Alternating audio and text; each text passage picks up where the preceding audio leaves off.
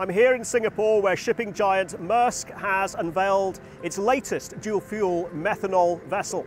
The 350 metre long vessel has a capacity of over 16,520 foot equivalent containers and, more importantly, can run on traditional marine fuels as well as methanol, a low carbon alternative fuel. Doing so allows the vessel to save up to 280 tonnes of CO2 emissions per day. 90% of global trade is seaborne, but it does come at a cost to the environment. Every year, the maritime industry emits roughly as much CO2 as Germany and Spain combined, roughly 3% of global greenhouse gas emissions. Maersk aims to receive about 25 dual fuel methanol vessels by the year 2027. Some of them will be new builds like this ship, while others will be older vessels that have been retrofitted. This is one way the company plans to achieve its ambitious goal of reaching net zero emissions by 2040, 10 years ahead of the target set by the International Maritime Organization. However, there are hurdles that need to be crossed. Methanol has a relatively lower energy, meaning